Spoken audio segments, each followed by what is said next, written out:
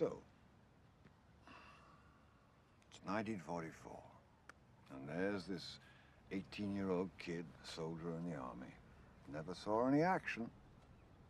He was sent to Paris, right at the end of the war. There he is. A dumb kid with a dumbass grin on his face. There he is in Paris. To him, it might as well have been the other side of the goddamn world. It was a joke that his unit was constantly drawing the worst details. Most of the time, they were relaying sewage pipes blown apart by the Germans during the occupation. It was god-awful work. I miss Utah. But somehow the kid was happy. Like a pig in shit. The guys in his unit, most of them were different from anybody he'd known in his neighborhood. They were from all over, little towns he'd never even heard of.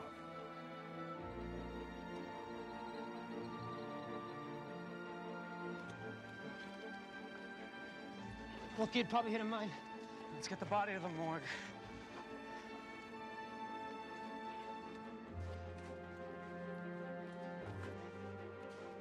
That was the only dead body he saw his whole time in the army. There was this one guy in his unit, real different to him, an intellectual, real bookworm. And over time, he became the boy's best friend. He lent him some books to read. The first books the kid had ever read about anything. For the first time, he saw a world that was bigger than the one he'd been born into. And he wanted more. He wanted to be something more. A writer. Yeah, but he had no idea what the word really meant. Certainly didn't have a clue about how to go about it. You grew up in Philadelphia. Hmm. Grew up in Philly, but born in London, actually. London. Vous allez commander quelque chose parce que sinon je vais devoir libérer la table.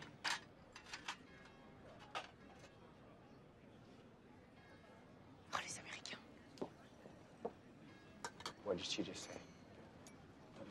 Well, my French is a little weak, but I'm pretty sure she said she loves you.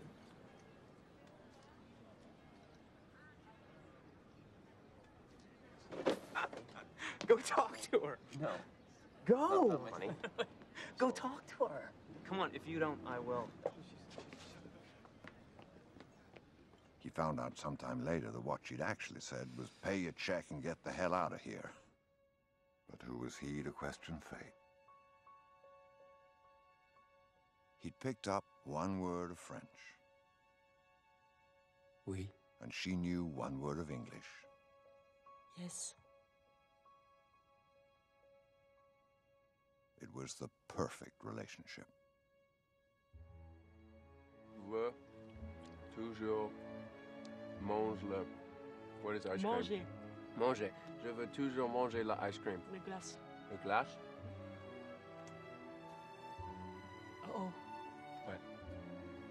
What? it's cold in my head. Cold in your head? Yeah, pain. Here. Go like this. Take your finger, go like this. Under your tongue. It's a little trick and make it go away, okay? Mm. It doesn't want to go. Give it a second, okay? No? It's gone. Told you. Okay, one more.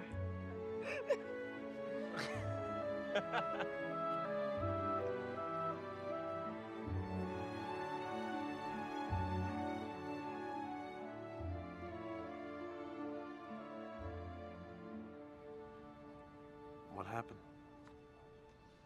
He got discharged from the army.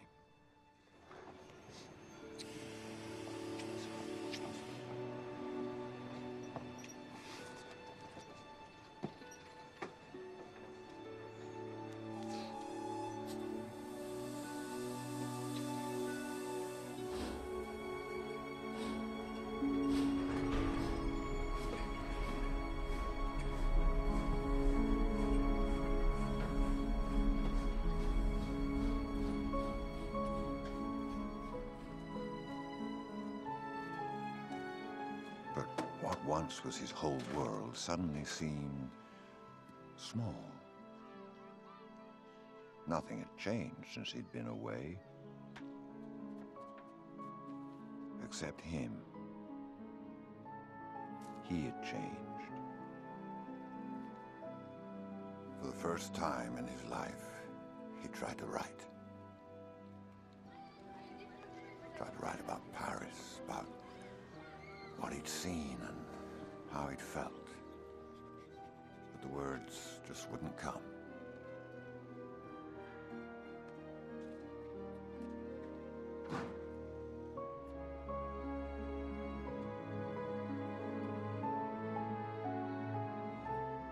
He knew the life he wanted. He knew what he had to do to get it.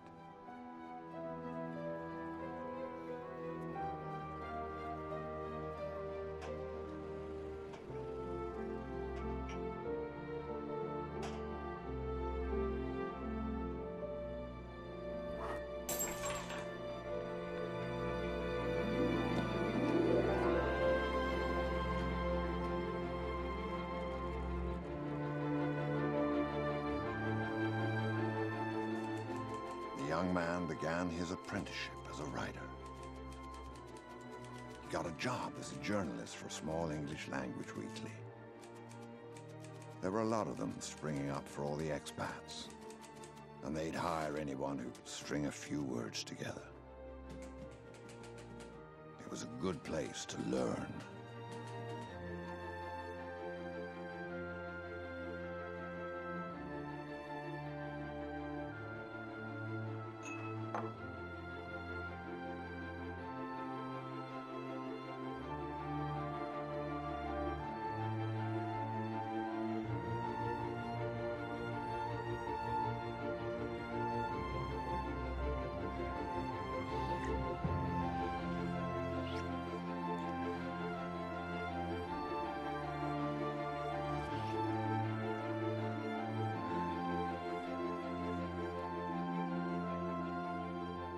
Married Celia two weeks later.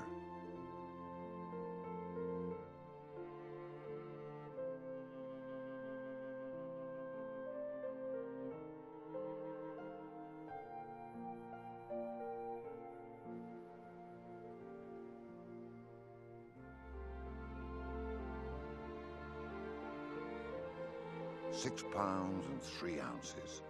Eyes like a mother. Was his moment. Not that he knew it at the time.